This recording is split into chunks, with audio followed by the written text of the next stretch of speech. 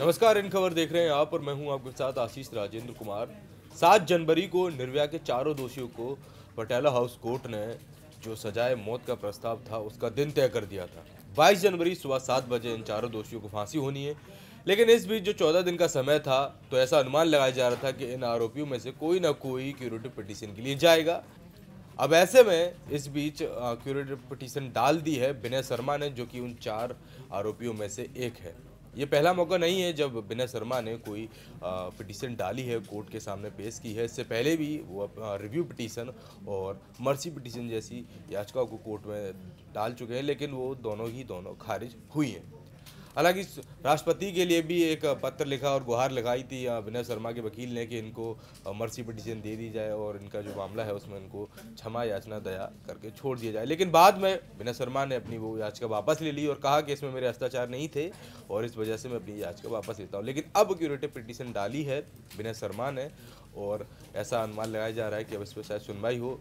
लेकिन ये महज एक औपचारिकता के तहत देखा जा सकता है, क्योंकि ये पहले से तय था जब पटेल हाउस कोर्ट ने यह ऐलान किया था कि 22 जनवरी सुबह सात बजे एनएस फांसी के फंदे पर लटकाया जाएगा। तो सब लोग कह रहे थे और ये है गणित कि चौदह दिन का जो समय है, उसके अंदर इनके जो प्रॉपर्टी से संबंधित कार्य हैं या फिर जो कह लीजिए क्यूरेटिव पिटीशन का एक प्रोसेस है, वो ये लोग दाखिल कर सकते थे कोर्ट में।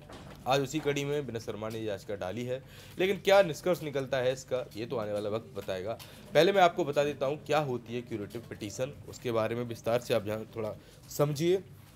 क्या है क्यूरेटिव पिटीशन क्यूरेटिव पिटीशन पुनर्विचार याचिका से थोड़ा अलग होती है। इस याचिका में फैसले की जगह पूरे केस में उन मुद्दे या विषयों को चिन्हित किया जाता है जिसमें उन्हें लगता है कि इस पर एक बार फिर से ध्यान देने की ज़रूरत है।